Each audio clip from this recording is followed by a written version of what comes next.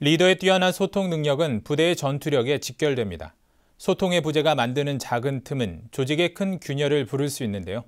이번 주 국방TV에서 방영될 영화는 독선적인 함장과 이에 반발하는 승무원 간의 갈등을 그린 영화 배드포드 사건과 6.25 전쟁 참전 용사의 이야기를 통해 진정한 리더십을 깨닫게 하는 종군 수첩입니다. 김호영 기자가 소개합니다.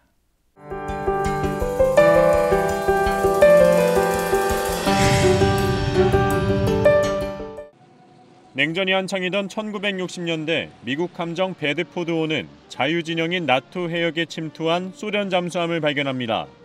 핀란드 함장은 즉시 공격 태세를 취하지만 확전을 우려한 상부는 공격 명령을 내리지 않습니다. 그러나 함장은 자기 신념에 따라 추격을 개시하고 승무원들은 당장 멈출 것을 요구하며 갈등이 깊어집니다. 소련 잠수함에 광적으로 집착하는 함장과 이에 저항하는 승무원들, 이들의 항해는 과연 어떻게 될까요?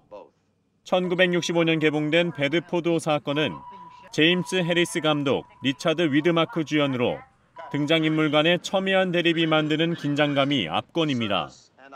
다음 영화는 종군 수첩입니다. 대학교 산악반 대원들이 함께 간 암벽 등반.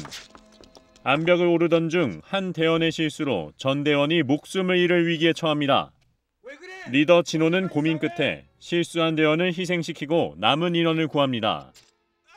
그런데 사실 목숨을 잃었던 그 대원은 한 여자를 두고 진호와 삼각관계였던 사이입니다. 진호는 심한 죄책감으로 괴로워합니다. 이 사실을 알게 된 강 교수는 진호에게 종군 수첩을 건넵니다. 그 수첩은 강 교수가 6.25 전쟁 참전 용사 김소희로부터 받은 것입니다.